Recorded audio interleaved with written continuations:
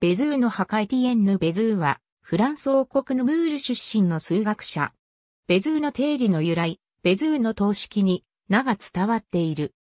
1730年3月31日、フランス王国のヌムールに生まれ、1758年にアカデミー・フランセーズへ入会する。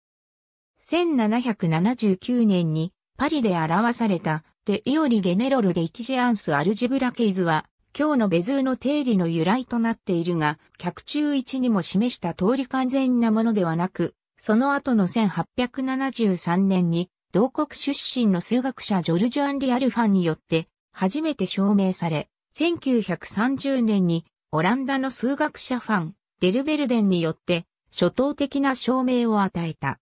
1783年9月27日、セーヌイコールイコールマルヌ県、アボン村で没する。